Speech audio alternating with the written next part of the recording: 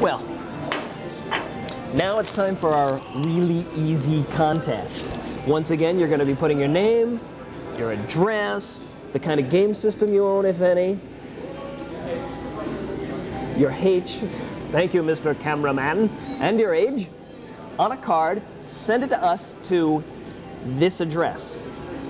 I can't tell it to you because we didn't bring it with me and I don't remember it, but you can read. Look, right here. This is the address. Right to this, okay? And what you can win is, um, wait, I have one on me here somewhere. Oh, here we go.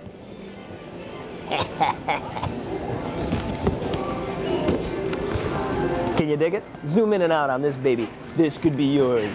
This could be yours. And you know what you have to do? Do you know what you have to do? Drop a card in the mail. That's all you got to do. That won't guarantee that you get it, mind you, but one of you lucky little fellas out there.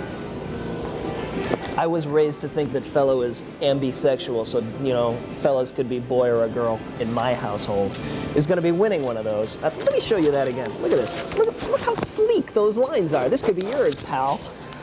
Ah. Anyway, write into us, and literally, we call it really easy contest because it is a really easy contest. Just send us a card, and you get something if we draw it out of the hat at the big drawing. And we've got a mighty big hat, so all of you, send something in.